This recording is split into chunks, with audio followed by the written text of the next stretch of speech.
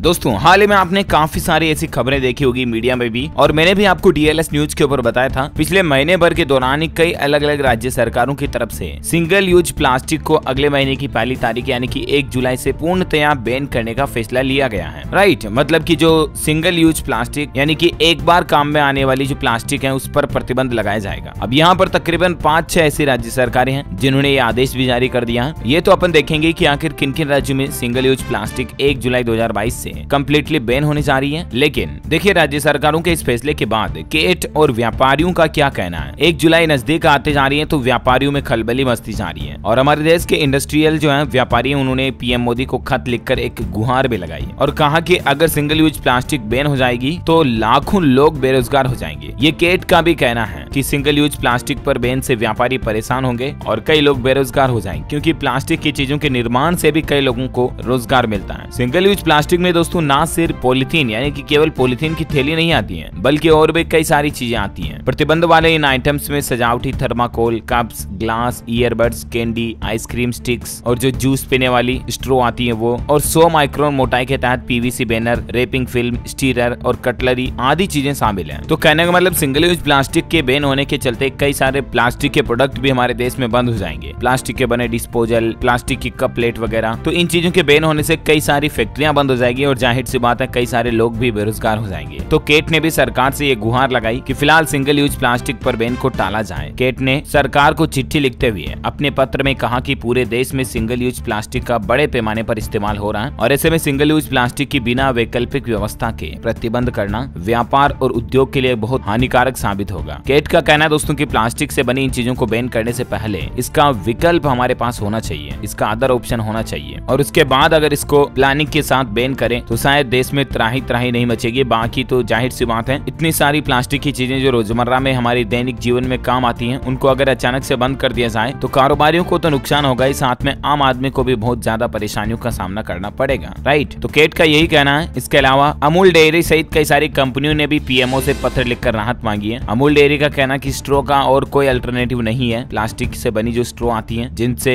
Juice वगैरह पीते हैं, और भी डेयरी से बने कई सारे प्रोडक्ट पीते हैं तो उनका फ़िलहाल कोई अल्टरनेट नहीं है, इसीलिए सिंगल यूज़ प्लास्टिक को बैन करने से पहले स्ट्रो का विकल्प पाना भी बहुत ज़रूरी है। तो कहने का मतलब बात यही है कुल मिलाकर के कि एक जुलाई से प्लास्टिक को बैन लगाने की, प्रतिबंध लगाने की तैयारियाँ तो पूरी चल रही है। सरकार ने आदेश भी जारी कर दिए कई सारी राज्य सरकारों ने आम पब्लिक को नोटिस भी जारी कर दिया है। लेकिन इसका अदर ऑप्शन, इसका अल्टरनेट अभी तक भी हमारे पास नहीं है। और इसीलिए सरकार को ये कंपनियाँ पत्र लिख लिख कर फ़िलहाल इस तारीख को टालने की प्लानिंग बना रही है, मांग कर रही है सरकार से। आइए देखते हैं कि फ़िलहाल अभी तक कौन कौन सी राज्य सरकारों ने एक जुलाई को लेकर आदेश जारी कर दिया है। देखिए, पहला नंबर वन राज्य तो है हिमाचल, जहाँ एक जुलाई से सिंगल यूज़ प्लास्टिक पर पूर्णतया प्रतिबंध लगने की ऑर्डर जारी कर दिए है सरकार ने। एक जुलाई से पोलिस्टाइरीन यानी कि थर्माकोल और विस्तारित पोलिस्टाइरीन वस्तुओं सहित एक प्रयोग प्लास्टिक वस्तुओं के निर्माण, आयात, भंडारण और उपयोग आरोप पूरी तरह ऐसी रोक लगाई जाएगी। प्लास्टिक ऐसी बने कैरी बैग कप प्लेट गुब्बारों की डंडिया, चम्मच, कांटे कैंडी की स्टिक आदि, जो सिंगल यूज़ प्लास्टिक की चीज़ें हैं, उनका उपयोग कोई नहीं कर सकेगा। और राज्य में अभी तक पिछहत्तर माइक्रोन तक के प्लास्टिक की थैलियों पर भी रोक लगी हुई है, जो 120 माइक्रोन तक की थैलियों पर अब रोक बढ़ जाएगी। एक जुलाई 2022 से, है ना, हिमाचल में। अच्छा इसके अलावा देखिए, उत्तराखंड सरकार ने भी पिछहत्तर माइक्रोन की प्लास्टिक पर बैन लगाने का घोषणा कर दिया है। एक जुलाई से प्रतिबंध लागू होगा। उत्तराखंड के भी प्लास्टिक बैन की तैयारियाँ पूरे राज्य में, पूरे प्रदेश में चल रही है। इस संबंध में वन एवं पर्यावरण मंत्रालय के आदेश के बाद शहरी विकास विभाग ने भी दिशा निर्देश जारी कर दिए हैं। है ना, उत्तराखंड में भी आगामी एक जुलाई से प्लास्टिक के स्ट्रो, चम्मच, प्लेट, थर्माकोल से बनी चीज़ों पर बैन लग जाएगा अच्छा इसके अलावा देखिए, इस राज्य में भी प्लास्टिक पर बैन होगा। राज्य के मुख्यमंत्री बोले कि एक जुलाई को सिंगल यूज़ प्लास्टिक पर रोक लगा दी जाएगी। पंजाब में जो नई सरकार बनी, आम आदमी पार्टी की भगवंत मान सरकार, पंजाब के मुख्यमंत्री की तरफ़ से बड़ी घोषणा कर दी गई है। है ना तो तीन राज्य तो ये हो गए, हिमाचल प्रदेश, उत्तराखंड और पंजाब। इसके अलावा राजस्थान सरकार ने भी एक जुलाई से सिंगल यूज़ प्लास्टिक पर बैन के आदेश जारी कर दिए हैं। पोल्यूशन कंट्रोल बोर्ड ने इसको लेकर एक अभियान भी चलाया और कहा कि प्लास्टिक से दूरी है ज़रूरी। प्रदूषण नियंत्रण बोर्ड और जिला प्रशासन ने मिलकर प्लास्टिक मुक्त अभियान चलाए हैं। कई अलग अलग जिलों में। राजस्थान राज्य में एक जुलाई ऐसी लोगों को सिंगल यूज़ प्लास्टिक ऐसी दूर रहने और इसके उपयोग को पूर्ण तरह प्रतिबंध करने की गुजारिश की है राज्य सरकार ने। अच्छा राजस्थान के अलावा सरकार ने बिहार राज्य में भी मतलब बिहार राज्य की जो सरकार है, बिहार के मुख्यमंत्री नीतीश कुमार की तरफ़ से भी पिछले साल जुलाई से ही प्लास्टिक बैन को लेकर आदेश जारी किया था, लेकिन व्यापारियों के विरोध के बाद इसको एक साल बढ़ा दिया तो बिहार में भी अभी इस एक जुलाई 2022 तक एक साल हो जाएगा जब तक सरकार ने आदेश को एक्सटेंड किया था। तो अगर गवर्नमेंट कोई रिवाइज ऑर्डर जारी नहीं करती है तो ज़ाहिर सी बात है बिहार में भी एक जुलाई से सिंगल यूज़ प्लास्टिक जो है, वो बैन हो जाएगी। अच्छा वही हरियाणा में भी प्रशासन का फरमान देखिए, एक जुलाई से सिंगल यूज़ प्लास्टिक के भंडारण, बिक्री व इस्तेमाल पर पूरी तरह से रोक लगेगी, कानूनी कार्यवाही भी होगी। उपायुक्त जितेंद्र यादव का कहना है की आगामी पहली जुलाई से सिंगल यूज़ प्लास्टिक के इस्तेमाल, भंडारण व बिक्री पर पूर्णतया रोक लग जाएगी। तो अभी तक इन इन राज्यों में जिनमें शामिल है। हिमाचल प्रदेश, उत्तराखंड, पंजाब, राजस्थान, बिहार और हरियाणा। ये छह राज्य सरकारों की तरफ़ से तो एक जुलाई 2022 से सिंगल यूज़ प्लास्टिक के बैन यानी कि प्रतिबंध को लेकर आदेश जारी कर दिए हैं। और बाकी इधर अभी प्रोसेस ये भी चल रही है कि केट ने सरकार को जो पत्र लिखा है, उस पर सरकार क्या रिवाइज ऑर्डर जारी करती है? केंद्र सरकार की तरफ़ से अगर इसकी तारीख को बढ़ाने के आदेश आ जाते हैं तो ज़ाहिर सी बात है, एक जुलाई के बाद भी ये चीज़ें हमारे देश में चालू रहेगी। लेकिन देखना यह होगा की सरकार इस पर फाइनल फैसला क्या लेती है, और इन छह राज्यों के अलावा और कौन से राज्य सरकार की तरफ़ से क्या ऑर्डर या नया अपडेट आता है, जो भी खबर आएगी, मैं आपको इसी चैनल डीएलएस न्यूज़ पर बता दूँगा। वैसे आप मुझे कमेंट करके बताइए दोस्तों की आप कौन से राज्य में रहते हैं, ताकि मैं आपके राज्य के समाचार भी आपके मोबाइल तक पहुँचा पाऊँगा। वीडियो को लाइक और शेयर करना। हमारे चैनल डीएलएस न्यूज़ को सब्सक्राइब करके बेलाइकॉन ज़रूर दबा देना। Thank you take care good bye जय हिंद, जय भारत, वंदे मातरम।